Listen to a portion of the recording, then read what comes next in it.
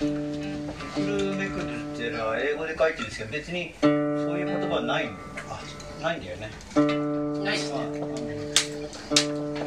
最初なんかもっとなんかいろんな効果があったんだよね突然決まったんだけど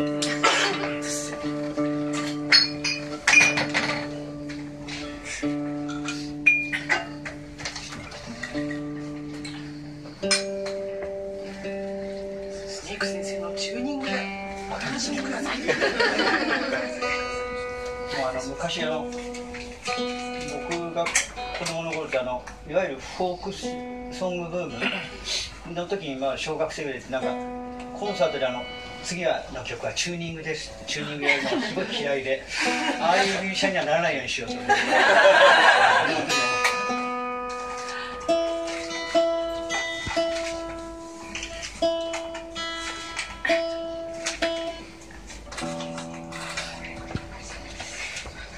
大丈夫だと思います。お待たせしました。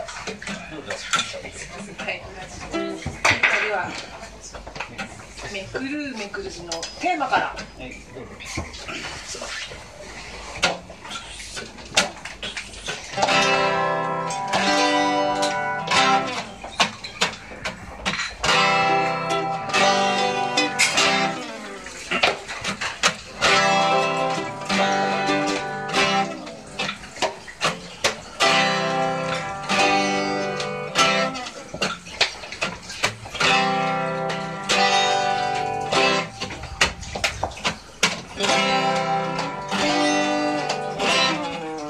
金がな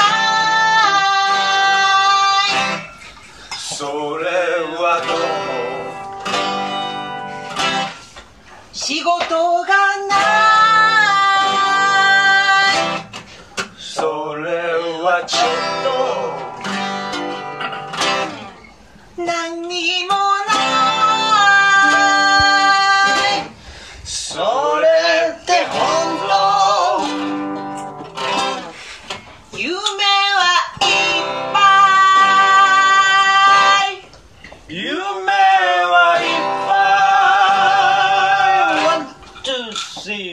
Make